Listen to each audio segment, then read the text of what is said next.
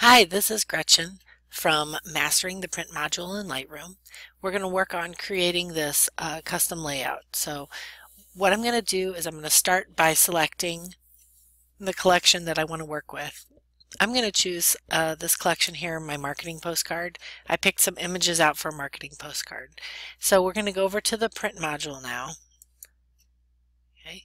And the first step that I have you guys do is I have you select custom package. Mine is already selected, but if yours isn't, you want to go ahead and select custom package right here in the right panel where it says layout style. The next thing we're going to do is we're going to clear any formatting. So what we're going to do is we're going to um, go down to the section that says cells. See that's right here? And we're going to click clear layout.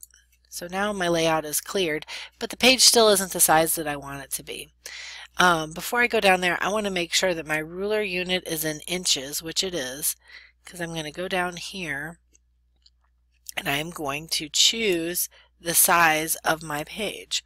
And I want my page to be, let's see, I want it to be, um, I can't remember if it's, nope, that's not the right one I want. I want it 10 or 6 inches high and I want it 10 inches wide. Nope, See, I had it backwards again. 10 inches high and 6 inches wide. That's what I wanted. Okay, so that's what I want. So, then the next thing that we want to do is, excuse me, we're going to add some photo cells to the page. So what we're going to do is we're going to be adding some cells. Come back up here to the panel that says cells. And what we're going to do is we're going to add some cells. Now I wanted to add them in a certain order and that's the instructions that I give you so that when they come up, excuse me, when they come up, they will uh, be placed in your image in the right order. So we're going to first add a 3 by 3 but you might have a 3 by 3 button, but I don't right now. So what I'm going to do is I'm going to pick any one of these, it doesn't matter which, but I'm going to click the drop down arrow and I'm going to click edit. And then this button, uh, or sorry, this box pops up and allows you to choose how big you want the box to be. And then I'm going to click add and look, there's my 3 by 3 And then the next one that I want you to add is a 6 by 4 And that one pops up there. Then another 3 by 3 and then another, and then another. And now our whole entire page is uh, covered with cells and that's the one that I want you to create. So now what you've got is, is you've got a page that's got one, two, three, four, five cells and it's 10 inches wide, it's 6 inches tall and then you can um, add your pictures after that and then um, once you add your pictures you're going to be able to get an opportunity to um, play around. So let's, I'm going to just show you an example of adding, adding some photos. So let's say I want to add this wedding photo up here. Okay. So that's them and that's kind of, it's placed pretty well that, and that's good. I like that. So let's maybe put this one of this senior and we'll put her right there. Okay. Let's say I want to move her picture a little bit. So watch what happens. If I just click and move, it actually moves the cell.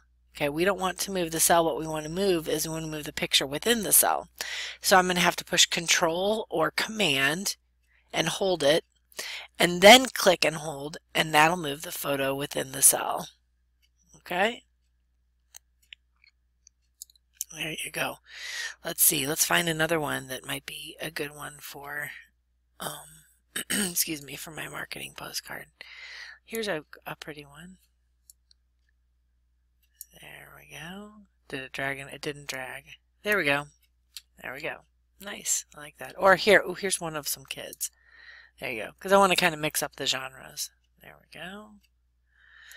Um, let's see. Um, here's another family one that's kind of nice.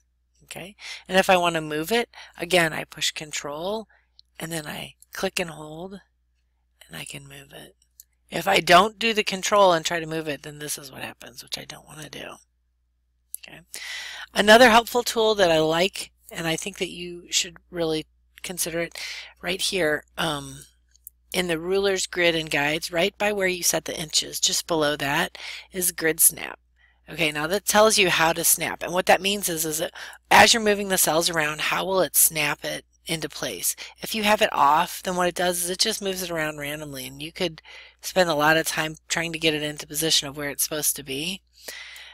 If you push um, grid snap to cells, then what it does is it gets it close to, see how when you start to get close to another cell, it'll snap it over to that cell so that they all line up nicely. I really like using that option because that way when you're placing your um, cells on the page, you don't have any gaps in between the cells. If you want to choose grid, then when you turn on this page grid here, it'll snap the pictures to the grid. So that's up to you. You can choose how to, where to um, snap them, but I like to snap to cells. Okay, so then let's see. I'm going to go ahead and stick one more senior in here just for fun. There we go. There's another senior. See, he's kind of cut off on the top, so I'm going to pull it down a little bit. Da, da, da. There you go. Okay, so now I've got this marketing postcard, and if I want to go ahead and print it now, what I'm going to do is I'm going to go down here, and I'm going to click Print to File, and then um, a window is going to pop up and it's going to ask me where do I want to print my photo to, or where do I want to save it to. And then you can click wherever you want to save it.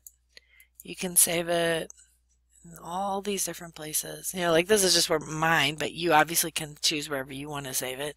And I could choose to put it in this one. I could say um, sample or whatever you want to name it. And then you click save. And then you'll see over here that it's starting to prepare the print job. Okay. There you go. That's how you do a picture. Or that's how you do a collage. Thanks.